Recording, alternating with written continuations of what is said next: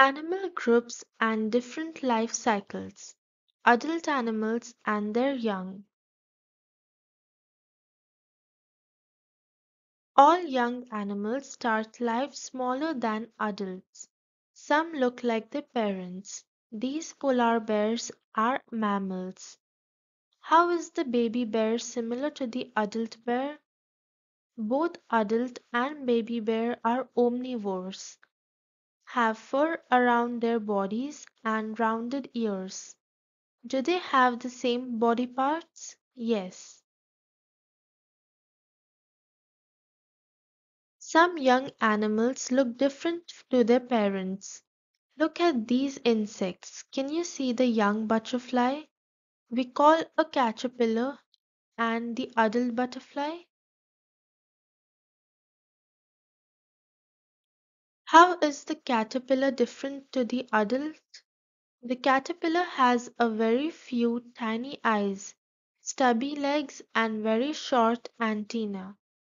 The adults have long legs, long antennae, and compound eyes. Life cycle An adult gives egg, the egg turns into a chick, and the chick after about three months turns into an adult.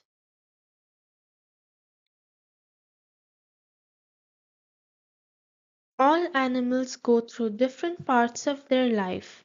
The body of the animal changes. Animals always start their life as an egg or a baby. When they're adults, animals can make new eggs or babies. These changes happen one after the other. Changes happen from the start of the animal's life and go on until the end of its life. We call this the animal's life cycle.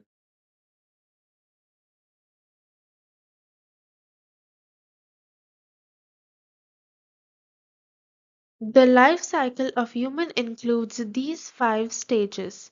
Human life cycle. Life cycle of frog. In humans, baby looks similar to adults. The young of frogs look very different to the adults. Frogs lay eggs which hatch into tadpoles. Young tadpoles have a body and a tail. Tadpoles slowly grow legs and lose their tails. They begin to look like small frogs and we call them froglets. A life cycle diagram helps us to see changes over time.